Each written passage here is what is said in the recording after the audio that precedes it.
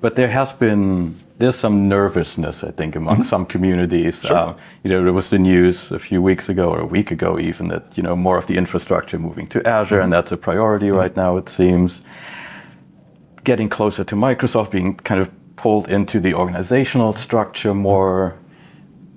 Not everybody's excited about that in the ecosystem. I mm-hmm. think. What what would you say to them?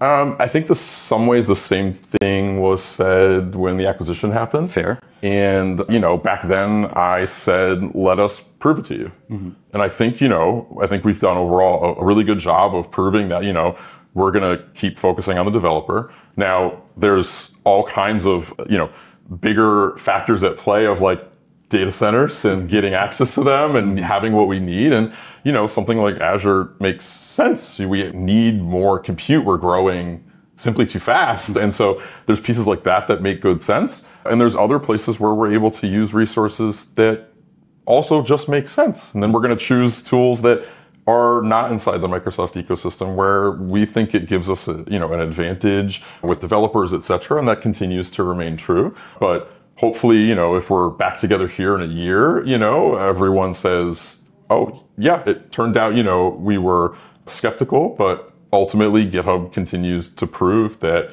folks like myself that have been through these transitions, and there's many, many Hubbers that have been through all these transitions, are able to just, you know, continue to, you know, just put great tools in the hands of developers and let them use them and not lose that, you know, open source and developer ethos that's kept us going for nearly 20 years.